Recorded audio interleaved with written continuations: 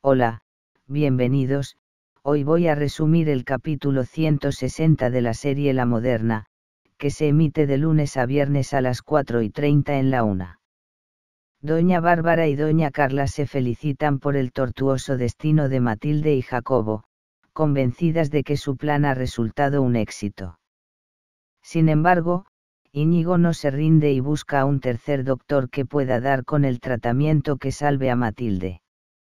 Todos en la corrala y en la moderna están muy preocupados por ella. Además, Jacobo está desaparecido.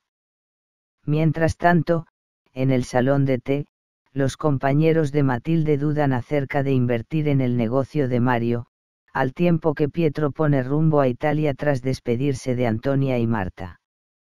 Marta, precisamente, le plantará cara a Felisa, la vecina chismosa de la corrala que trata de hacerle la vida imposible.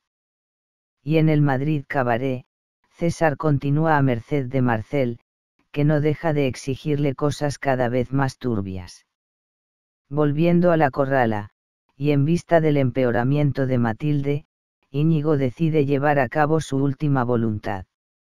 No olvidéis de darle un like, y suscribirse al canal, y de darle a la campanita y darle a todas las notificaciones para que os llegue el aviso de cuando voy subiendo mis vídeos.